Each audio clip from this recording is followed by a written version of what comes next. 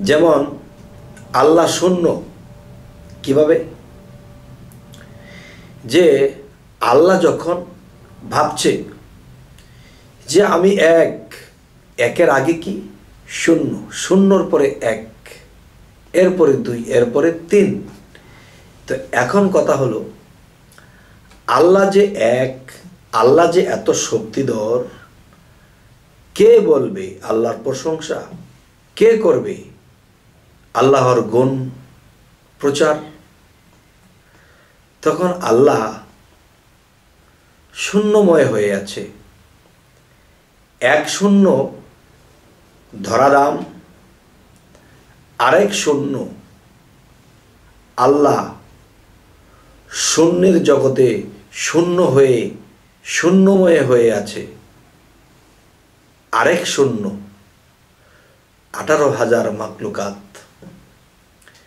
আচ্ছা এই হলো একটা শূন্যের বিষয়। যেমন ইংরেজিতে যদি বলা হয়, জিরো।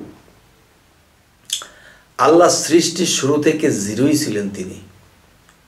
আর সেই জিরো থেকে হিরো কখন হলেন? হিরো তখনই হলেন যখন মোহাম্মদী নূরকে সৃষ্টি করেছেন। তো আল্লাহ যেহেতু জিরো, তাহলে জিরো থেকে আরও একটা জিরো বের হয়েছে। যেমন আমরা যদি পৃথিবীতে কোনো আলো দেখি এই আলোটা কিন্তু শূন্য বা জিরো, একে কিন্তু বাক্সে ভরে রাখা যায় না। তেমনি এই জিরো থেকে যখন মোহাম্মদী নূর আলাদা হয়েছিল, সেই নূরটাও কিন্তু জিরো। তাহলে জিরোর ভিতরে জিরো, তার ভিতরে অধর জিরো, যখন মোহাম্মদী নূর সৃষ্টি করিলেন, তখনই আল্লাহ হইল হিরো। হে জগতবাসী আজকের যে আলোচনাটি, সে আলোচনাটি বোঝাতে চাচ্ছি যে আল্লাহ যেরকম শূন্য থেকে শূন্যের উপরে শূন্য, শূন্যের উপরে শূন্য, এরপরে কিন্তু আল্লাহ নিজেকে বানিয়েছে পূর্ণ। আর শামিম আলী চিস্তি আমি বলতেছি এই কথাটি এই জন্য যদি আমার এই কথাটি কেউ মানতে, বুঝতে কষ্ট হয়, তাহলে আমি আরেকটু সহজ বলে বলে দেওয়ার চেষ্টা করব। দেখেন, আমরা পৃথিবীতে মানুষ হিসেবে যে জন্ম নিয়েছি, মায়ের গর্ভে কিন্তু আমার, আমরা সেই ডিম্বকারের মধ্যেই ছিলাম। এবং বাহিরে যদি দেখেন কোনো পশু, পক্ষী বা পাখি জাতীয় তারা যখন ডিম পারে, এই ডিমটাও কিন্তু জিরো বা গোল বা শূন্য। আচ্ছা আমরাও কিন্তু সেই জিরো অবস্থায় মায়ের গর্বে ছিলাম। তাহলে পৃথিবীতে এসে দেখি পৃথিবীটা গোল, চন্দ্রটা গোল, সূর্যটা গোল, গোলে গোলে গোল। আর এখানে যদি এই কথাটি শুনে কারও না ভাঙে ভুল তবে কি আর পাইতে জানব কখনো কুল? তবে হে জগতবাসী আল্লাহ কিন্তু শুরু থেকেই তিনি হিরো ছিলেন, কিন্তু সে হিরো প্রকাশ হয়নি। আর সেটা প্রকাশ হইতে যাইয়া এই মোহাম্মদী নূরকে বা মোহাম্মদীকে সৃষ্টি করলেন। এই মোহাম্মদীর যে রূপ, সেই রূপ যে ছিল পূর্বে, কি রূপে ছিল? সেই রূপটাই আদমের রূপ। তখন সেই আদমের রূপটাই তিনি মোহাম্মদী রূপে সৃষ্টি করেছেন। এবং দেখা যায় যে মোহাম্মদী রূপ দিয়ে আদম সৃষ্টি করেছেন, তবে আদমের আগে যে আরও চারটি জাতি ছিল? আদমের আগে ছিল জিন, অসুর, হারিস, নারিস।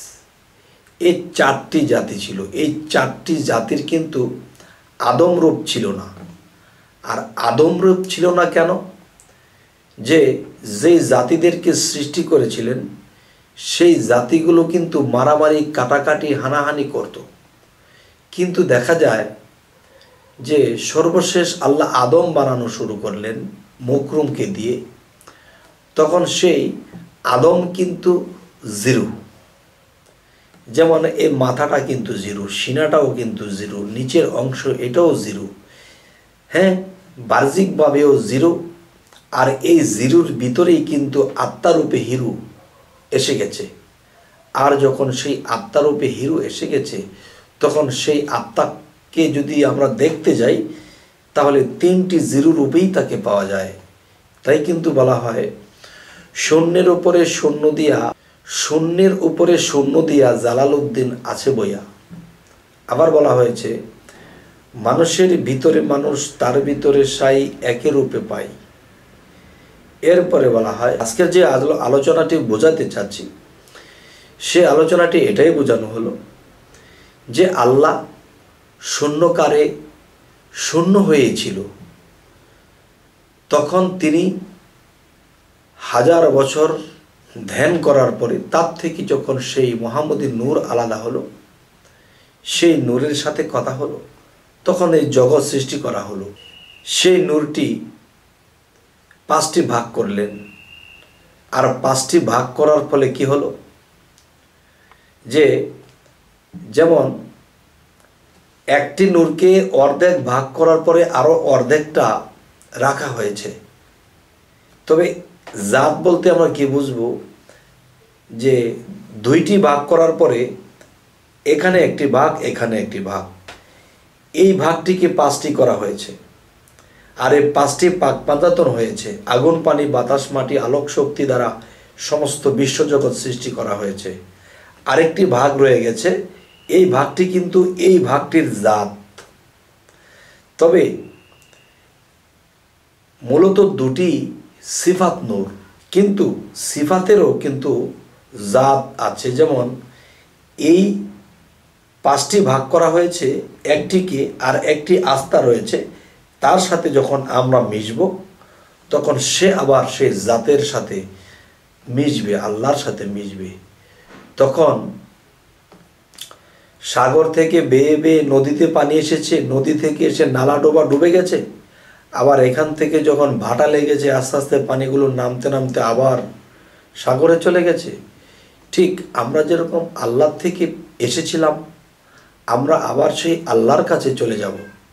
আর যাইতে হলে আমাদেরকে যতটুকু সাধনা করার দরকার, যতটুকু প্রেম ভক্তির দরকার, যতটুকু সৎ দরকার, ওই জিনিসগুলো যদি আমরা সারতে পারি, তাহলে আমরা বাষ্প হয়ে আবার সেখানে মিশে যাব। আর না হয়তো জন্ম জন্মান্তরই আমাদের ঘুরতে হবে। যাই হোক, একে একে এক, একে একে এক। আল্লাহ যখন পূরণ হলেন, তখনই তিনি পূর্ণ হলেন। তাই শূন্যের ভিতরে শূন্য, তার ভিতরে আরেক শূন্য।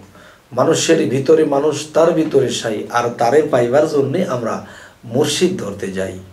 সেখানে গিয়ে যেন আমাদের নিজের খোঁজটা পাই। তবে আমাদের জীবন হবে ধন্য, আমরা হয়ে যাব সর্বদিক দিয়ে পূর্ণ। তবে আমাদের এই চ্যানেলের আলোচনা যদি আপনাদের ভালো লাগে, তো অবশ্যই সাবস্ক্রাইব করুন, পরবর্তীতে আমাদের আলোচনাগুলো পেয়ে যাবেন। তো আজ এ বলেই রাখব, সকলেই ভালো থাকবেন। আল্লাহ হাফিজ।